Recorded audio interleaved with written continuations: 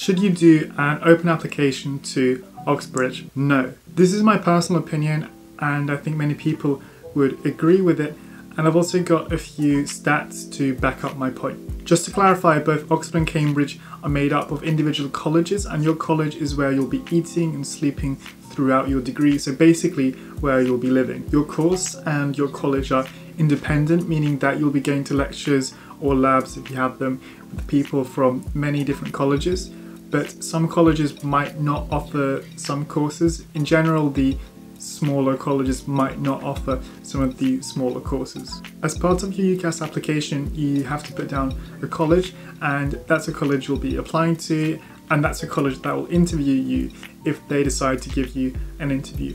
But if you can't choose one, you can decide to do an open application and that means that you'll be allocated a college at random. The allocation system aims to even out the distribution of the applications at the different colleges. In practice, this means that if you do an open application, you're more likely to end up at an undersubscribed college, and undersubscribed colleges tend to be not as nice as some of the other colleges. Though sometimes they are just underrated. But some colleges are definitely better than others. Some have very good and cheap accommodation, others are very bad and expensive. Some are big, some are small, some are rich, and some are poor. So if you do an open application, you're more likely to end up at an undersubscribed college and I would argue that often this means that it is a less nice college. Before I made this video, I just wanted to check that what I'm saying is actually correct, so I did a bit of research.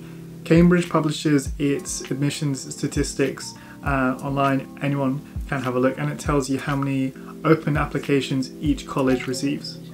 On Wikipedia, you can see the wealth of each college, and I put the two things together to find out if there is a relationship between how wealthy college is and how many open applications it receives. I looked at the application data from both 2018 and 2019 and combined them and the wealth estimates from Wikipedia are from 2019 and here you can see the graph that I made. I'll just explain what this graph is showing. The y-axis is the net assets of the college per student which is a measure of how wealthy the college is adjusted for the number of students at that college and the x-axis is the number of open applications it received in total in 2018 and 2019. As you can see on the graph, it looks a bit as if the poorer colleges have more open applications, but to be sure that there is actually a relationship, I did a bit of statistical analysis.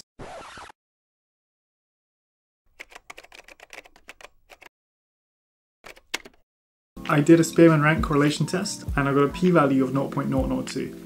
Basically, this is statistically very significant and there is a significant negative correlation between how wealthy a college is and how many open applications it receives. What does this all mean? Well, if you do an open application, you're more likely to end up at a poorer college. But this isn't necessarily bad because a college doesn't have to be rich to be nice and you'll almost definitely have a great time regardless of which college you're at. Keep in mind that even the poor colleges are still pretty rich. However, the poorer colleges tend to have more expensive accommodation and might be less generous when it comes to giving out grants or scholarships. Keep in mind that I only looked at data for Cambridge and for 2018 and 2019. So it's possible that this doesn't apply to every year or that this doesn't apply to Oxford, but I doubt that. There's one more point which I want to mention, which is will an open application affect your chances of getting in? First of all, you need to know that the college that you end up being allocated to, if you do an open application, doesn't know if you did an open application, so they can't discriminate against you based on whether you did an open application. Furthermore, both Oxford and Cambridge claim that doing an open application doesn't affect your chances of getting in. This is probably true because the whole application system is quite intense, but there is definitely still an element of luck in the application process. But I would argue doing an open application shouldn't affect your luck and therefore it shouldn't affect your chances of getting in. But if you do get in, it's good to get into one of the nicer colleges, which is why I suggest you don't do an open application so you know where you'll get in if you do get in. That's why I would suggest you make a list of all the colleges at Cambridge or Oxford, wherever you're applying, and cross out all the ones you don't want to go to and if you still can't choose then randomly choose between the ones that are remaining. I'll be making a video soon about how to choose a college and I'll also do reviews of different colleges at Cambridge. Uh, so if you want to see more of this please subscribe and if any questions or comments or whatever put them down and I'll get back to you. Thank you.